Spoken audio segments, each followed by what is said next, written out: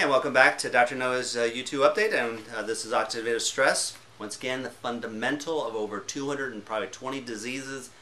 Once again, you get to that, you're getting to the cause of the problem. That's why I'm so excited about Protandim and NRF2 activator because it's able to actually reduce the oxidative stress down to a baby in 30 days. So, see what you think about that when you talk to your drug doctor. Okay, uh, this was just kind of interesting. Go, just show you because people are saying, you know, you know, what's the big deal about you doing all these things? Because you know, I'm actually saving you money.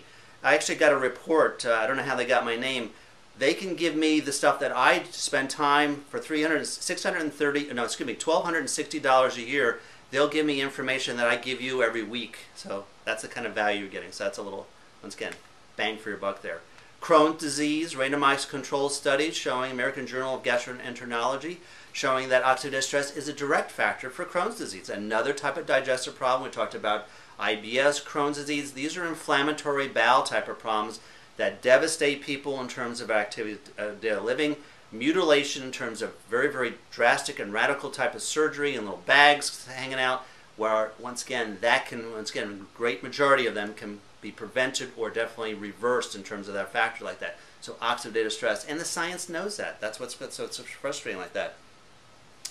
Uh, this was the first study on how uh, stress, psychological stress, speeds uh, speeds up the aging process.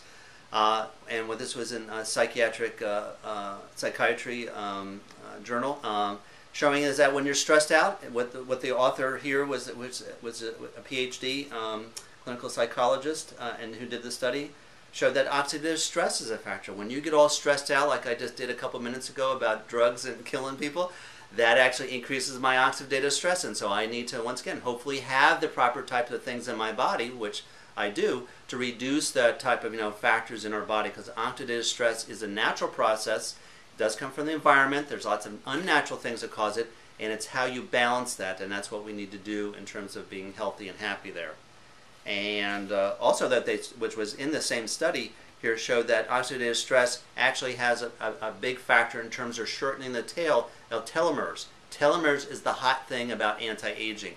As you age, this little tail in your chromosome called telomeres, and it was such a big deal that the scientists actually got the Nobel Prize award in medicine because of understanding telomeres and how it has to do with longevity or how long you live. Oxidative stress is a major factor in terms of shortening that. So you reduce the telomere uh, uh, shortening like that by decreasing your oxidative stress. Helpful little tip, just made you live a little longer. Thanks. Talk to you soon. Bye.